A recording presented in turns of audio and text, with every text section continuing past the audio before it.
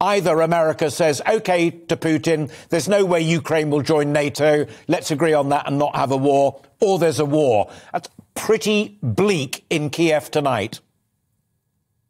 Yeah, well, I'm afraid that Putin probably thinks that he's already achieved a number of his objectives. First of all, he's got the West's attention, and more particularly, he's got Washington's attention. And I think one of the things that was really upsetting him was the notion that he was being relegated to second class status um, as an international power player, and, and all the kudos was going to China.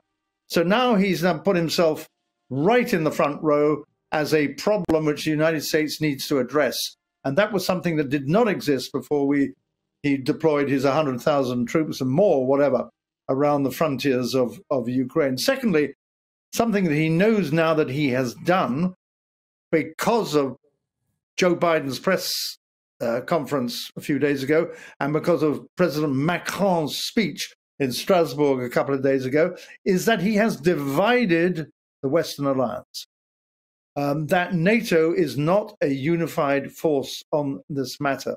And Biden's stupidity in talking about a minor incursion as opposed to a full invasion um, has fueled Putin's, I, I suspect, self congratulation on what he is doing.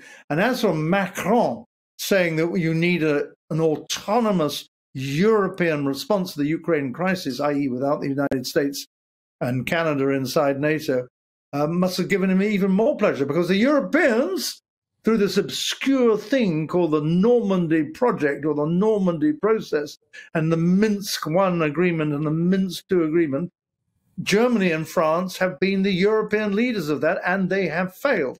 So if you're sitting in the Kremlin and you're answering the question, have I sown disarray and dissent uh, among the Western powers? The answer is absolutely yes.